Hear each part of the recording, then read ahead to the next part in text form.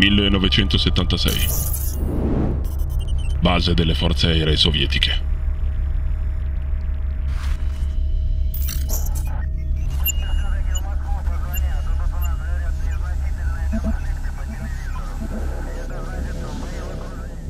Un pilota russo dell'URSS ai comandi di un MiG-25 cambio rotta atterrando in Hakodate, Giappone.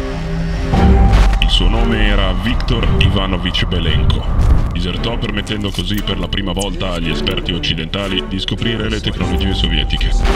In seguito a questi avvenimenti, l'allora direttore della CIA, sotto esperto consiglio dell'ex paracadutista del nono reggimento col Moschin Sergio Sulla, fece esaminare il velivolo in seguito chiamato Foxbat. Nel ritrovamento di una testata nucleare al suo interno, il 6 settembre gli Stati Uniti d'America decisero quindi di indire l'operazione Morte, inviando in territorio nemico a Verdansk il veterano di guerra Sergio Sulla.